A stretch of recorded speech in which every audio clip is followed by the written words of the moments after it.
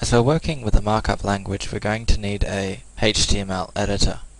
Now there are many we can use, but one that is said by many to be the best and also happens to be free is the HTML kit, which we download by going to www.chami.com. Once there, we click on HTML kit. We choose our region. In my case, Asia is the closest to Australia. Click on Next. We can also, if we want, download it from CNET. And read through information about the program and the way it works.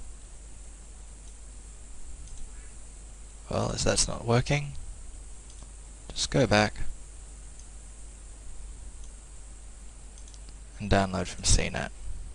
Once at CNET, just click on the HTML kit download link